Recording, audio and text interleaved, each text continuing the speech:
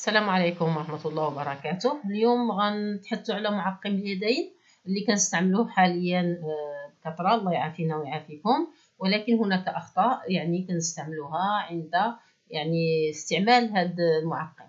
أول شيء خصنا بأن المعقم يمكن تحضيره بسهولة في البيت. هو آه، أساسه هو الكحول ومواد مرطبة مثل الجليسرين وجل ألوفيرا شاء الله نخلي لكم آه، في صندوق الوصف كيفاش تصاوبوه.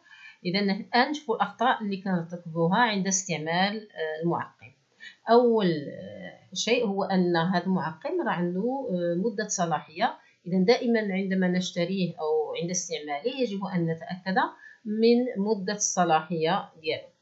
ثاني خطأ هو أننا كنعتقد أن معقم اليدين يعوض الصابون أو ينظف اليدين. إذا معقم اليدين إذا هو يعقم ولكن لا ينظف. إذا كانت هناك أوساخ فلا يزيلها. إذا دائما وقت ما كانت عندنا الفرصة أننا نغسل أيدينا بالماء والصابون يكون أفضل من المعقم. فقط المعقم اللي كنكونوا برا خارجين وما عندناش الماء. آه، ثالثا هو أن كان اللي كيصحاب واش إلا دار يعني نقطة من معقم يدين أنها تكفي. لا هي ليست كافية لا تزيل آه الجراثيم. رابع آه، خطأ هو آه، أن كنستعملوا يعني كمية كافية من المعقم لكن غير كندوزوه على يدينا.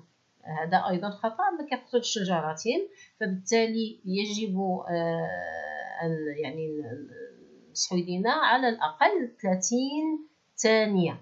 اذا باش نعرفوا بأن المعقم تخلل يعني في جميع اليدين يعني بين الأصابع أيضا.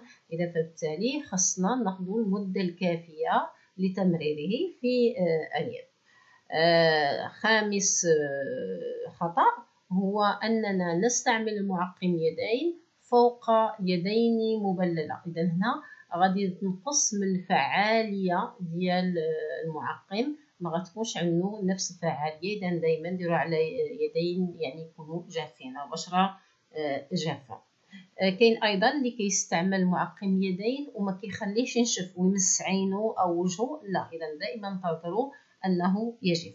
وهناك تحذير آه، معمرنا نقربوا للذهب وحنا دايرين معقم اليدين. كنتمنى الفيديو يكون راقم والى فيديو آخر بإذن الله.